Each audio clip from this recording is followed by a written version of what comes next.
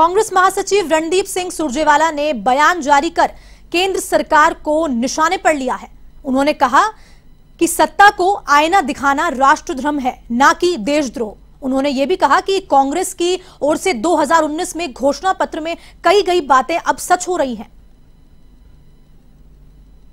नमस्कार साथियों, सत्ता को आईना दिखाना राष्ट्र धर्म है, ये देशद्रोह नहीं हो सकता। और देश की सुप्रीम कोर्ट ने आज इसी बारे स्पष्ट संदेश दिया है।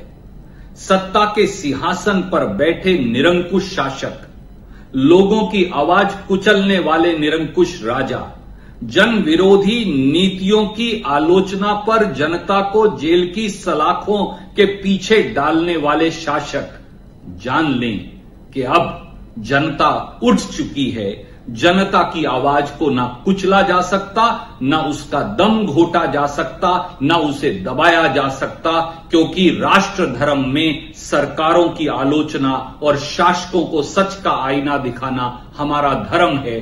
कांग्रेस 2019 में यह कानून खत्म करना चाहती थी। आज देश की सुप्रीम कोर्ट ने इस पर पाबंदी लगाकर साबित कर दिया कि हमारा रास्ता सही है। लोगों की आवाज़ उठती रहेगी। यही जन आंदोलन की परिपाटी है।